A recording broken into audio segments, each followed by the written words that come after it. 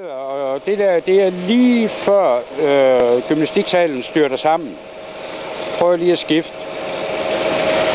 Og der kan man se, altså, ja, man kan ikke se noget, fordi at der er en styrtet sammen. Kim Jensen bor på Kirkevej i Hasten. Tidligt tirsdag morgen fik han en bræt opvågning. Nabobygningen, den gamle realskole, der i dag huser flere daginstitutioner, stod i flammer.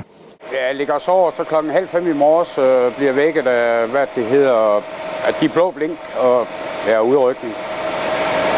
Og kan gå ud i mit køkken og se, at der er en lille smule rødudvikling fra taget der.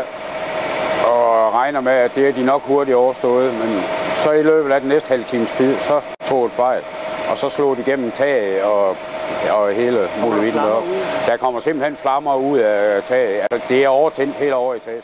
Jamen, vi blev kaldt til brand. Bygningsbrand i institution. Og da vi kom ind, der var det jo øh, mange flammer op på første sal, og øh, stort set umuligt at komme op på anden sal.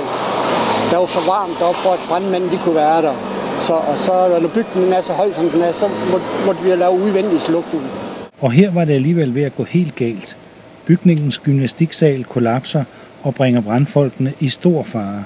Umiddelbart synes vi ikke, branden ser så voldsom ud. Det er brandvæsens første øh, øh, indskydelse, men da de begynder at arbejde i bygningen, har røgdykker ind, så viser det faktisk, at øh, branden er rigtig kraftig, specielt op på anden salen. Og øh, det resulterer så i, at cirka halvanden time efter, øh, i forbindelse med arbejdet på stedet, der kollapser bygningen herinde, og øh, på mirakuløs vis øh, er der ikke nogen... Øh, Øh, er der brandfolk inde i Ja, der er faktisk to røgdykker inde på, på stedet på, på det tidspunkt, men ingen af dem kommer til skade. De når at komme ud inden. Og er helt uskadt. Og er helt uskadt. Bygningen bliver i dag brugt af mange børn. Udover skovbørnehaven og ungdomsklubben holder Hastens 4. til 6. klasses elever til her om eftermiddagen. Men i første omgang gik indsatsen på at finde en løsning til de mindste.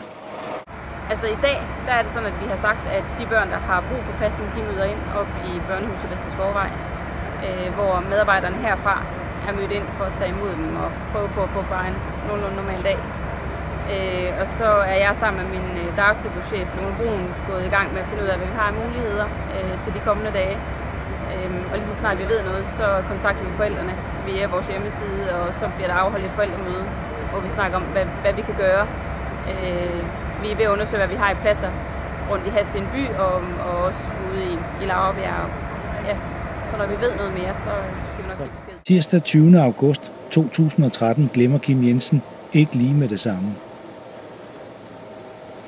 Altså, vores det større spørgsmål, det var, om vi skulle til at herfra, eller med varme udvikling og sådan noget. Men lige inden det styrte sammen, og nå det er at flytte mine to biler og få dem flyttet væk, sådan at de i hvert fald ikke fik brokker på sig eller noget.